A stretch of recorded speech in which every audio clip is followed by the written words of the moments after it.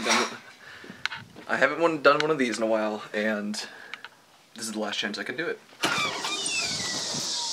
Ooh, it is way more humid. And my grandpa has a crazy garden going.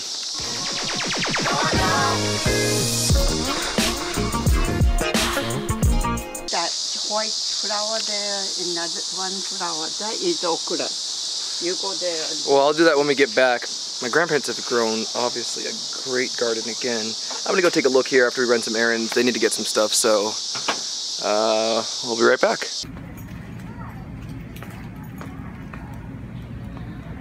Um, we're at Walmart. I'm getting some just cheap hair stuff just to put this up. Uh, there's like a pomade product I want to buy, but it's at the hair place that I usually go to in Colorado. This is just for the weekend. But I lost my four foot tall grandmother already. And of course, they don't have cell phones. So, this is gonna be interesting. Oh wait, never mind, I found her. So I was helping my grandma with dishes, and apparently my mom got her this. I don't know if you can see it. Hold on. This is supposed to be a new sponge because so much gross stuff ends up in your sponge. And this is plastic and rubber. I tried washing with it, but it doesn't, you don't get as much scrub out of it, but it, it does take stuff off, so I don't know, maybe I'll get one too. Never seen one like this though. What is this sponge called? Here, look at this one. this, this is. This is Oh, very nice. okra. This is okra here. See? Yeah. In oh, the- Oh, this this humidity is absolutely terrible. It's so thick, and I didn't think it was gonna be this bad. But um, there's these giant bushes in front of our house. We got to get these done, and I, I knew there was gonna be some housework things, so I brought all my gear. Uh, GoPro.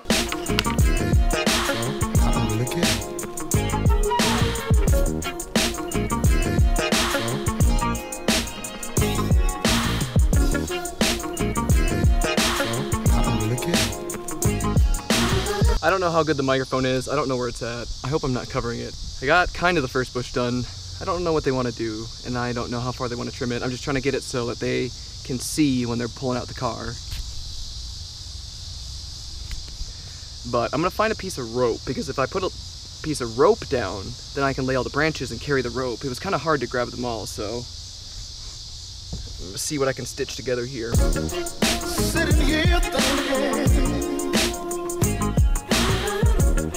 About our love affair. Well, we got most of the stuff into the car, so I'm not gonna be taking my car tonight, just because that's completely packed. I mean, I could, but there's like two fish tanks. Oh, it's already fogging up again. The humidity here is ridiculous. But check this out, we found a bird nest.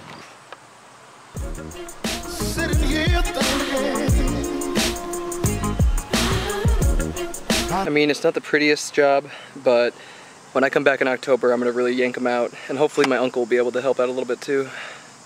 At least they can see now if a car is coming and they're backing out, which it was terrible before. Oh, it's fogging again. But I really haven't been back here. Look how red I got. I haven't been back here in a while, so I want to see how the garden's going.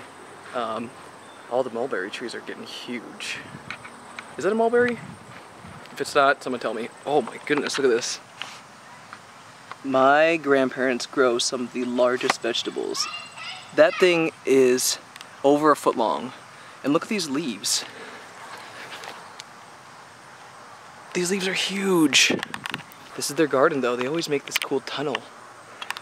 Because most of the plants that they grow like to grow on vines like this. So we create that structure. I don't know if you remember from the springtime when there wasn't plants, but this is way cool now. Don't feel good about it because I'm not there. I never thought I'm not ashamed to confess that you gave me the key. Look at these giant leaves that have definitely overgrown the garden. They come all the way from here, but they literally escape out, which is really, really cool to see. This is his micro area where he grows the small plants and then takes them out to go plant in the big garden once they grow bigger, but this is some cool stuff too. It has been a really, really good time coming back. Um, I really missed my grandparents and it was great. Last night, we just got to catch up around the dinner table forever. I got to share some of my views on life, I got to hear their stories. We all kind of saw each other eye to eye for the first time, except for work. They still don't like what I do for work, but I don't think I need a corporate title to show what I've accomplished in life. Hopefully it's cooling down. I'm still sweating galore and I need to rinse up here and get ready for dinner. I'm gonna go to Las Margaritas with some old friends and that should be good. I'll probably leave this camera here, but we'll see. I kinda wanna take, I kinda wanna take my old red car, and especially since this car is all packed up.